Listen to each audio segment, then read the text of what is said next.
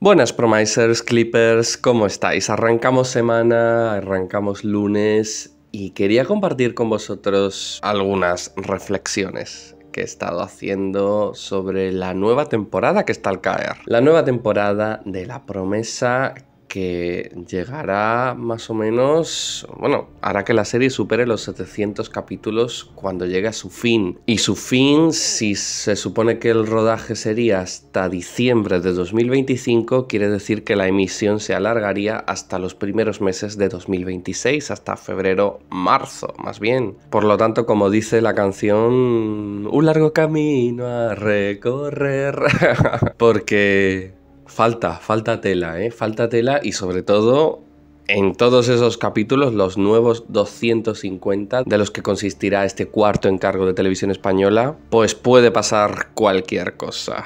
bueno, cualquier cosa no, pasará de todo, como siempre. Sin embargo, hay algo, hay un detallito que yo quiero comentar y es que creo que en algún momento la historia va a dar un salto temporal y que llegaremos entonces a los años 20. ¿Por qué creo esto? Pues os lo voy a contar en el vídeo de hoy, además de todas las implicaciones que tendría este salto temporal, porque claro, os lo voy a argumentar, esto no son cantos de sirena que yo os retransmito porque me dé la gana.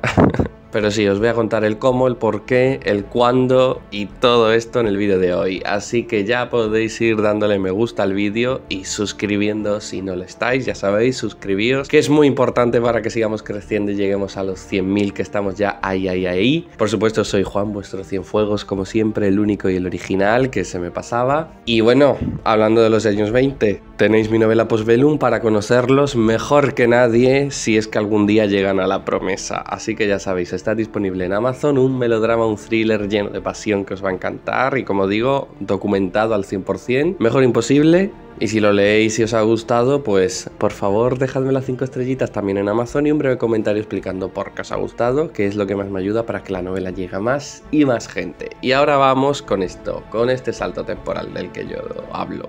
Como digo, la nueva temporada, la cuarta, comenzará dentro de pocas semanas cuando la promesa llegue, si no me equivoco, alrededor de los capítulos 470. Ahora mismo la serie se encuentra en el año 1915, hemos ido más o menos a tiempo real, salvo por ese salto temporal de seis meses que tuvimos el pasado mayo, y por lo que comentan los personajes, las noticias de los periódicos y todo eso, parece ser que están en octubre de 1915, se han puesto en sincronía con nosotros, nosotros estamos en octubre, ellos también. La nueva temporada comenzará creo que a primeros de diciembre o finales de noviembre, por lo tanto está claro que la gran parte de la cuarta temporada se situará en 1916. Y si el final llega, como digo, en emisión que no en rodaje en los primeros meses del 2026, falta tela todavía, pero bueno, en verdad ya estamos casi ahí después, que el tiempo luego corre. Pero que si se supone que la serie va a durar eso, llegaremos a ver a los personajes entonces en 1917. Vamos, que vamos a ver el cuarto cumpleaños de Hannah en la promesa, después de que llegase para la boda de Tomás y descubrir quién mató a su madre. Esta temporada, esta cuarta temporada, yo creo que vamos a ver muchos cambios en Palacio. Creo que va a continuar esta estela de revelaciones de secretos y de cambios de paradigma que estamos teniendo ahora mismo en la serie, donde prácticamente vamos a 100 revelaciones por semana ahora mismo. Qué alegría, la verdad. Es un gusto disfrutar de la promesa estas últimas semanas. Pero creo que el principal cambio que va a haber eh, durante esta temporada, esta nueva que comienza, va a ser la boda de Jane Manuel. Yo estoy convencido de que estos dos se van a casar, lo vengo diciendo desde hace meses y básicamente diría que toda la temporada va a girar en torno a, bueno, pues a la adaptación de Hannah a la planta noble, que es un poco lo que ya estamos viendo. Esos tira y afloja, que de momento, bueno, todavía no han conseguido subirla, pero obviamente con el correr de los capítulos y de las semanas, pues las llegaremos a ver allí. Eso no me cabe ninguna duda. Habrá dificultades, habrá luchas, habrá dramas. Parecerá esto a veces Rebeca, parecerá esto a veces Jane Eyre, pero lo conseguiremos.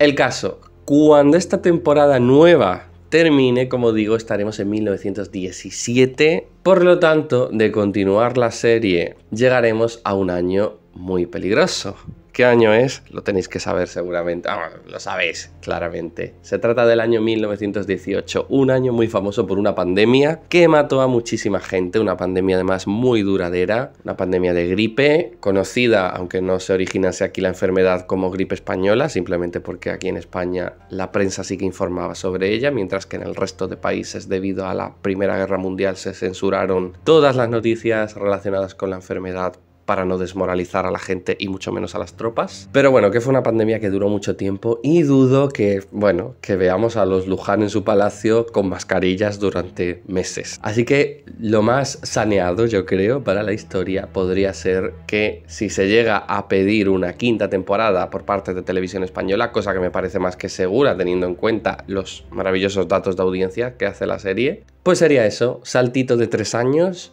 a 1920 cuando llegue el momento dentro de un año y, unos meses. Esto sería una gran oportunidad para la serie porque le permitiría con este quinto encargo hipotético, como digo, todo esto es hipotético lo que yo estoy hablando, yo os estoy argumentando por qué tendría sentido hacerse, pero le daría a la serie pues eso, un nuevo comienzo, un nuevo aire, teniendo en cuenta que si esto llega a ocurrir estaremos ya más allá de los capítulos 700 y estaremos de hecho camino del capítulo 1000, por lo que la serie ya necesitaría un poco eso de aire para perder algo de densidad. Además, bueno, sería una nueva época, por lo que traería muchos cambios de looks, muchos cambios de visual. Se notarían esos aires de renovación y además daría bastante tiempo, sin ser un salto temporal excesivamente largo, para asentar todas las nuevas ideas y cambios que se hubiesen producido en la temporada anterior, la que estamos a punto de comenzar. El principal, pues, si Jane y Manuel se hubiesen casado durante esos capítulos, pues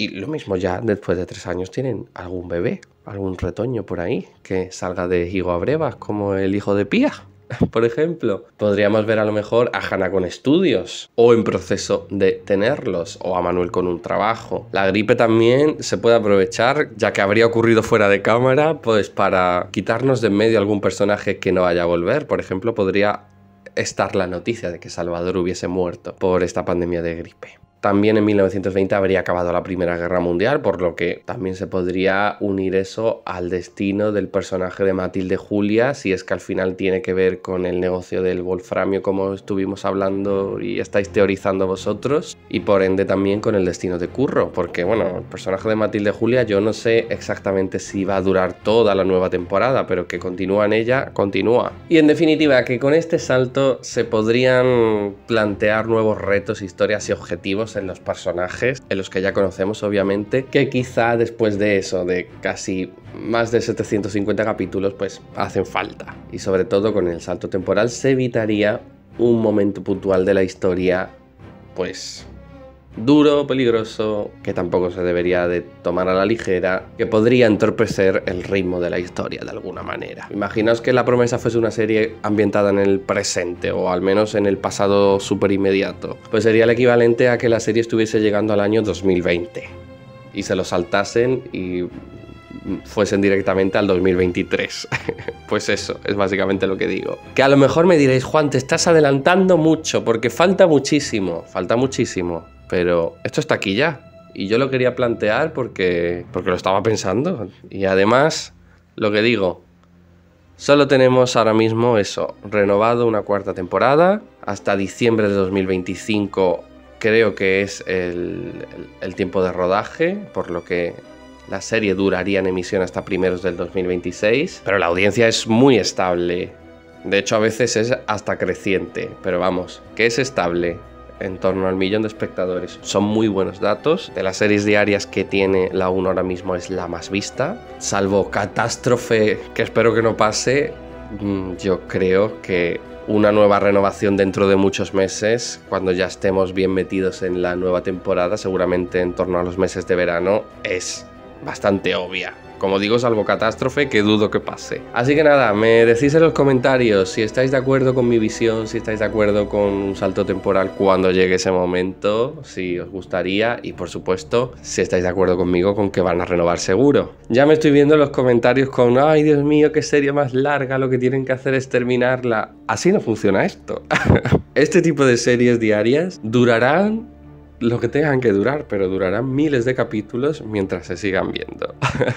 Así que eso, nada, me decís lo que queráis, dadle me gusta al vídeo si os ha gustado, por favor, que me ayuda mucho y, y suscribíos si no lo estáis, si estáis viendo el vídeo y no estáis suscritos, que también me ayuda un montón. Yo con esto me despido y por supuesto que si tenéis todavía más ganas de historias de época, pues que tenéis disponible en Amazon mi novela Postbellum, un thriller de época ambientado en la España de 1920. Es un thriller, pero está lleno de pasión y bueno, vais a ver que la lectura no va a dejar indiferente porque bueno, va a parecer que estáis viviendo en esa época, que estáis viviendo en 1920 que estáis sintiendo la realidad de ese año día a día y bueno, y que con el vocabulario también va a parecer que estáis hablando como en la España de entonces con ese castellano, digamos, pseudo antiguo y tiene pues unos personajes, como digo, súper pasionales con ese Acacio Alborg que no puede asumir de quién se ha enamorado y que sufre por ello, con ese Eren que esconde tantos secretos, un refugiado de la Primera Guerra Mundial, conflicto que se trata muy bien como lo vivió España entonces y con una villana que, bueno, es una villana a la altura de Cruz y a la altura de todas las villanas que hemos tenido en las series diarias. Doña Juana Janeiro, una mujer de armas tomar, por supuesto, como siempre, enamorada de quien no debe. Como digo, está disponible en Amazon, tenéis el enlace tanto en la cajita de descripción como en el primer comentario fijado y yo con esto me despido aquí.